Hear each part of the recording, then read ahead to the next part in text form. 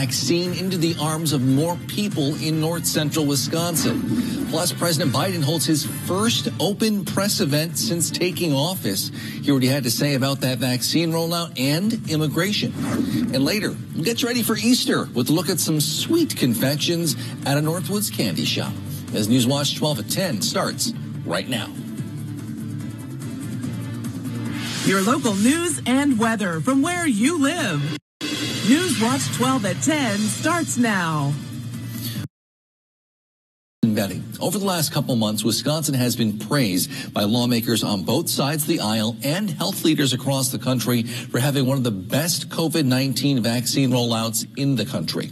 Yet many people in north central Wisconsin have found it hard to get a vaccine. Now, state health leaders are hoping to change that. Starting April 6th, less than two weeks from now, Marathon County will be opening up a COVID-19 community vaccination site. As you just saw, organize organizers